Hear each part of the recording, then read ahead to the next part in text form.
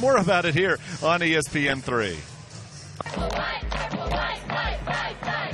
Friday was a milestone day for ACU as they broke ground on the new Wildcat Stadium.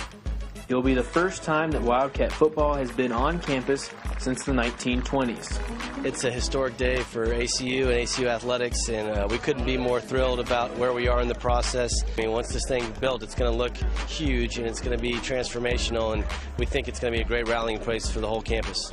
The stadium will be located on Campus Drive in the site of the old Elmer Gray, a facility that hosted Olympians and world record holders. For head football coach Ken Collums, this presents an exciting opportunity to write his own history. It's going to give people a chance to create memories for the rest of their lives here, whether it's players or coaches or, or trainers or faculty, staff, administrators, students, whatever it is. Uh, you know, it's going to be different. You make memories with through community and other people, and uh, this will be a uh, an exciting place to do that. The excitement was on display Friday as a big crowd gathered for the announcement, including many prominent figures from ACU's decorated football history.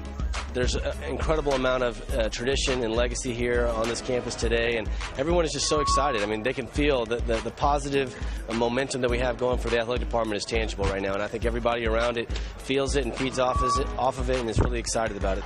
Wildcat Stadium is set to open for the 2017-18 season, coinciding with ACU's first year of full eligibility after their transition to Division One. For some, the countdown is already on. It'll be here before we know it. 574 days to be exact. For others, it's just enough time for the anticipation to build.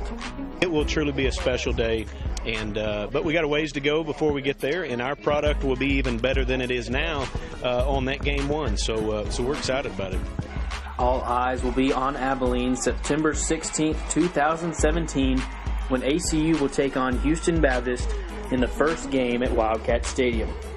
In Abilene, Seth Wilson, ESPN.